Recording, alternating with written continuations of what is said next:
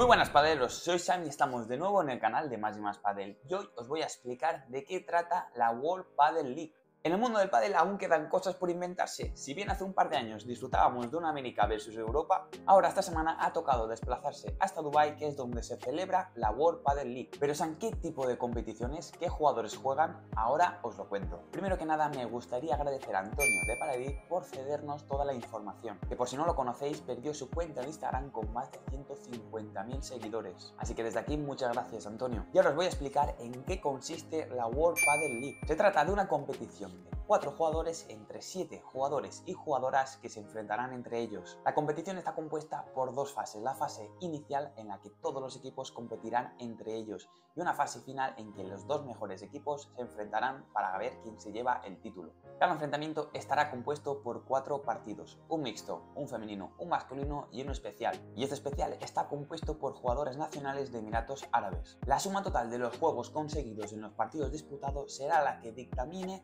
quién va a pasar a la final. ¿Dónde se está celebrando esta competición? La primera edición de esta World Padel League tendrá lugar en el Coca-Cola Arena, un estadio que cuenta con una capacidad de 17.000 espectadores. Está formado por cuatro equipos. En el primero, los Chitas, está formado por Pablo Jasamarilla, Pablo Lima, Ariana Sánchez, Mike Yanguas, Virginia Riera, Fernando Velastegui y Abdullah Ali. El siguiente equipo son los Jaguars, que está formado por Momo González, Franco Stupasú, Jen Matrial, Saño Gutiérrez, Carolina Navarro y Ibrahim Abdullah. El tercer equipo son los Tigers, que está formado por Paquito Navarro, Delphi Brea, Fede Chingoto, Victoria Iglesias, Juan Tello, Marta Ortega y Salem Alouli. Y por último, el cuarto equipo son los Panthers, que está formado por Aranza Osoro, Ale Ruiz, Lucía Sanz, Arturo Cuello, Bea González, Javi Garrido y Fares Ajanaji. Y sois muchos los que me habéis preguntado dónde se puede ver esta World Padel League. Este nuevo evento se puede seguir en la retransmisión de YouTube en el canal World Padel League TV. Y ahora sí me gustaría saber qué os parece esta nueva competición y si os gusta, así que dejádmelo en los comentarios. Muchas gracias por ver el vídeo y nos vemos en el siguiente.